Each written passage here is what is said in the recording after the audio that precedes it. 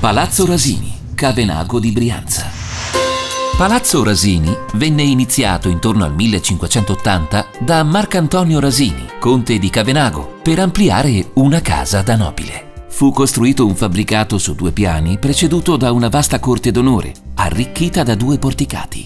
L'ingresso fu rivolto ad est e la nuova facciata, munita di portale e di torri, costituì un lato della piazza principale di Cavenago. Nel 600 fu inserito un oratorio e alla fine del Settecento fu aggiunta una piccola torre dell'orologio. Abbandonato e poi diventato sede del municipio, negli anni 90 del Novecento il palazzo è stato restaurato e la facciata sulla piazza completamente rifatta. L'aspetto più interessante del palazzo sono i numerosi affreschi distribuiti nelle sue sale. Nella sala delle fontane e nella sala di Giove sono presenti paesaggi e figure fantastiche affrescati nel 1620 nello stile di Procaccini.